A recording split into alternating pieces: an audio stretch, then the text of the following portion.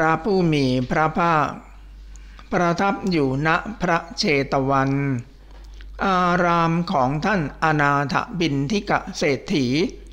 เขตพระนครสาวัตถี ครั้งนั้นแล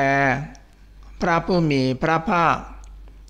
ทรงช้อนฝุ่นเล็กน้อยไว้ที่ปลายพระนขาแล้ว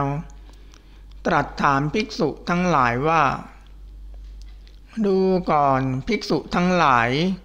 เธอทั้งหลายจะสำคัญความข้อนั้นเป็นไฉนฝุ่นเล็กน้อย ที่เราช้อนขึ้นไว้ที่ปลายเล็บนีกับมหาปัตภีนีอย่างไหนมากกว่ากัน ภิกษุทั้งหลายกราบทูลว่า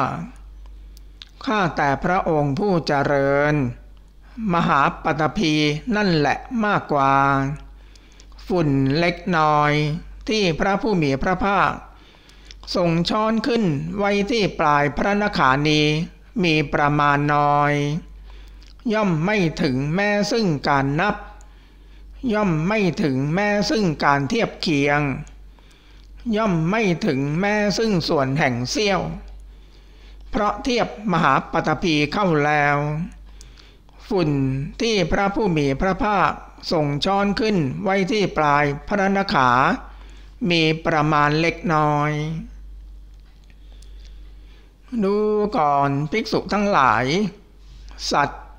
กลับมาเกิดในหมู่มนุษย์มีประมาณน้อย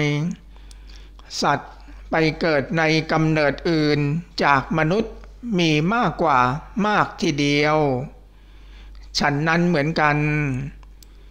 เพราะเหตุดังนี้นั้น เธอทั้งหลายพึงศึกษาอย่างนี้ว่า เราจักเป็นผู้ไม่ประมาท ดูก่อนภิกษุทั้งหลาย เธอทั้งหลายพึงศึกษาอย่างนี้แหละ